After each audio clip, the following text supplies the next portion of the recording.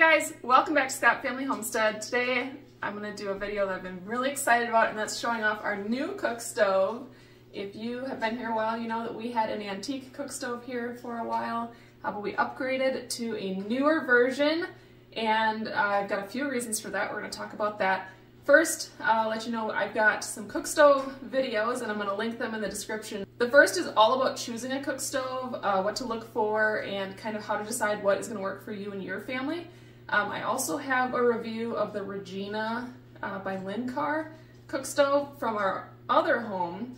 We loved that one as our main heat source. It had a much bigger firebox in it. I have a whole review on that and all the details if you're looking for something to really heat your home. This one we chose because it is great for in a kitchen. Uh, we have a smaller kitchen here. We have a fireplace that heats the rest of the house. This is kind of our bonus fireplace. We don't need it to heat the entire house, but it does heat the bedrooms above here. And I'm really excited to show it to you today. This is the Gulliver stove by Guca, um, and we just love it. The whole thing is only about 38 inches wide and 24 inches deep, so it's a really reasonable size for cook stoves in a small room like a kitchen. So we really, really love this stove. Uh, we've been using it a lot, but we're kind of just getting into the season where we can use it daily. We installed this in the spring and we didn't get a ton of time to cook in it, but now that I've had a few days of keeping that fire going all day, cooking in it, uh, baking bread, making meals on the top, we just absolutely love it. We do still have a gas stove that we use for a lot of things. In our other home, we were looking at getting a wood stove and kind of just stumbled upon the idea of having the benefit of having an oven on it and it kind of threw us into the world of cook stoves and we've really loved it ever since. We're not affiliated with this brand or Obadiah's, which is where we purchased it, uh, but we have had really good experiences with both. We're really happy with it. And so I'm going to show you kind of the basics of how a wood cooked stove works. And then this one specifically, uh, dimensions, the firebox, the oven, why we love it. So let's go ahead and get started. So first I want to talk a little bit about the stove and how it is set up. So this one has the option of putting the chimney on either side. So when you order it, you order that to how it's going to fit in your space. This one has a nice big oven and a smaller firebox. Uh, the firebox has a couple features we really love, so we'll get to that in a minute. You have your cast iron top, um, and it does have the rings that you can remove if you want heat directly under your pans or whatever you're cooking on top. We opted for the warming oven. We really, really love this. We use it a lot. Um, I raise my bread in there, and you can also use it to keep food warm. Like if Ryan doesn't eat dinner with us for some reason, or one of the kids has an activity, I can put their plate in there and it keeps it nice and warm for them for when they get home. And so we are big fans of this. They do also have an option of just a shelf up there, or you can do it without the back and just have the stove.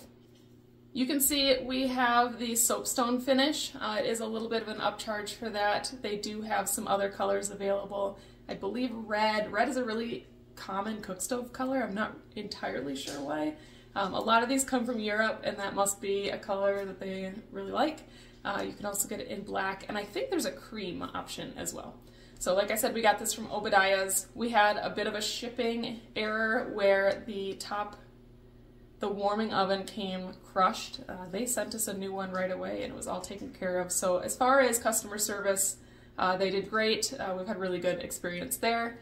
When you purchase this, the freight is included um, and it is insured. So they will take care of any kind of issues that come from that. Uh, one of the reasons that we chose this stove, you can see we don't have a huge space that we are working with here. Uh, this stove has low clearances on the back and sides, so we were able to kind of tuck it into a corner. That's something you'll have to look at when you're buying a cook stove is the clearances. Some of them you have to have very wide clearances to the side and the back. Um, it does help if you have a flame retardant barrier like the stone and tile. Some cook stoves, uh, they allow you to reduce your clearances if you have a barrier put in place. So we have the stone, you can see we haven't finished it and trimmed it out yet, uh, but these were just stone panels that we got from Home Depot and we went ahead and installed those up top and on the floor. So we've got the nice barrier in place there. Um, another couple of reasons that we picked this stove specifically, and I talk about this in my other video as well, it is UL certified. Uh, that means your insurance company is going to like it a lot better than the antiques or any that aren't UL certified. A lot of stoves are headed that direction. They're getting that certification that they didn't have even two or three years ago when we bought our last stove. We had like two options to choose from last time around. Uh, now, a lot of these stoves are getting certified, which is awesome. Um, this one also qualified for an energy credit because it's an efficient stove. So that was a big bonus to buying it. We did get a tax benefit uh, for that. And then also a big one for me this time around was the oven size. I'm gonna show you um, the size of the firebox in the oven next, and we'll kind of talk about that. But I really wanted something that I could fit a little bit more into with my Regina cook stove. It was really tight with a 9x13 and we were able to make it work. But with this one, I actually have two racks in here. We are able to cook multiple things at a time and it fits a lot of stuff. So let me show that to you now.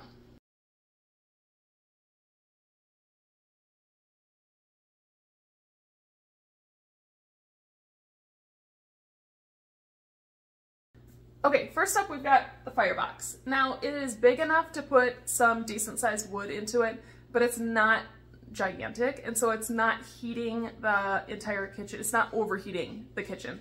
Um, it gets nice and warm in here, real toasty if you're trying to get your oven going. Uh, we'll talk about that in a minute. This one does have a rack in it. I don't know if you can see that in there. Uh, what that is, is you can put your wood up on top of that and bring the heat really close to your surface up here. That's really handy if it is warm outside or summertime and you just want to boil some water or something and not have a big roaring fire in here. You can bring the fire right up to the surface and heat stuff on the top here. I have not seen that in other cook stoves. That was particular to this one and I really love that feature.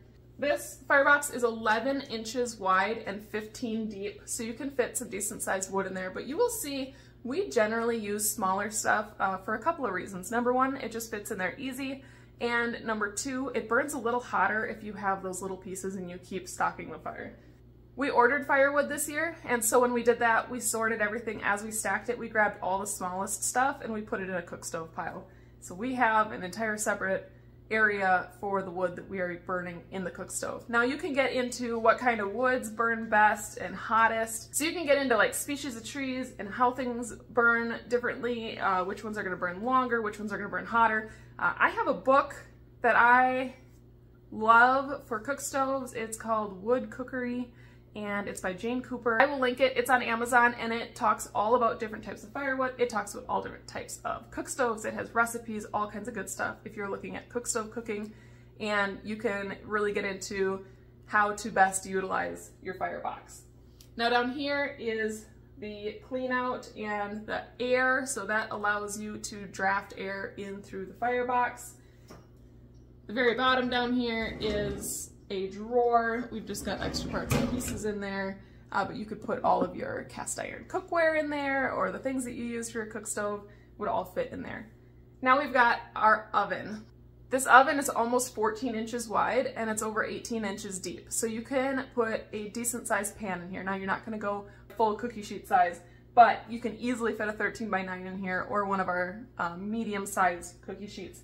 I did buy an extra rack, but now with Thanksgiving coming up, I can actually cook two different things in here while my oven is busy with the turkey, and I'm really excited to have that extra rack. It's $100.